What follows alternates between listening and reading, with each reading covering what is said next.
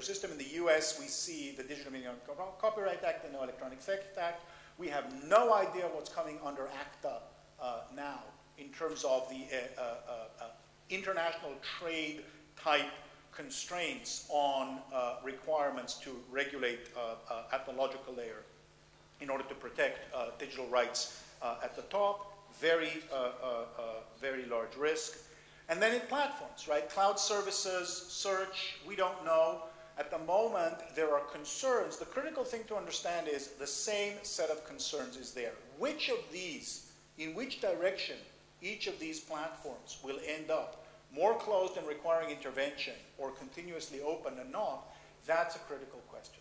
So, cloud computing, cheap and easy to deploy and grow, fantastic. But what if the standards aren't set? What if it's not open? What if somebody gets to control? That becomes a, a next potential platform that needs to be looked at. Uh, and that at the moment, the basic point is we need to preserve the same perspective on it, which is to say it has to be open, data has to be portable, there have to be standards, and we need to make sure that there's no single point of control that ends up actually being That's the set of questions that are raised as we're moving from these relatively open platforms to a new set of platforms that are providing some of the same functionality, makes, making some things easier, but others not. Um, the only thing I will say on standards, uh, um, the only thing I will say on standards is um, IP rights. Uh, to the extent that reasonable and non-discriminatory rates are too high, uh, that's not good enough in terms of genuinely decentralized innovation that anybody can play.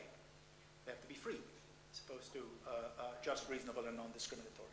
Uh, free as in beer, not free as in speech. They have to be free or at least very low cost in some form or another. Otherwise, we lose some players. Um, and uh, uh, I'll skip human expression and, and, and communications, uh, although that's, that gets replicated when we're talking about copyright and things like that. Um, essentially what we're seeing is a tension between models based on control, stabilization, optimization, and models based on rapid evolution, experimentation, failure, and adaptation.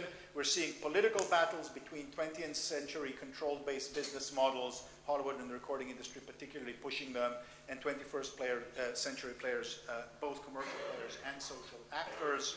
Um,